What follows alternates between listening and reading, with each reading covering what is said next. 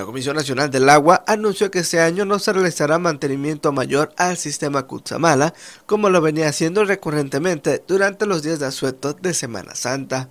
informó que los trabajos preventivos se continuarán dando de manera rutinaria, por lo que serán programados, coordinados y comunicados en su momento a los gobiernos del Distrito Federal y Estado de México, quienes están absolutamente convencidos de que cuidar el agua, reequipar y renovar el sistema Cutzamala es una tarea ineludible y necesaria, ya que una falla podría afectar severamente a la ciudadanía.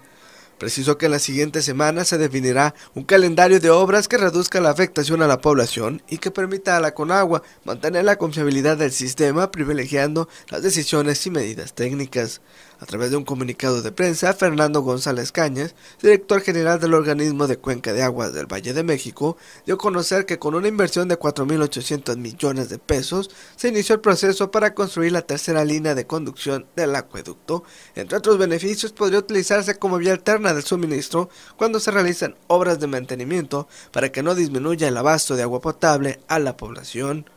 Recordó que actualmente el sistema Cutzamala abastece a menos del 30% de agua potable que consume el Valle de México y el resto proviene de fuentes alternas como el sistema Lerma, manantiales y pozos que son operados por el Distrito Federal y Estado de México. Para Noticieros Nuestra Visión informó Sergio Cano.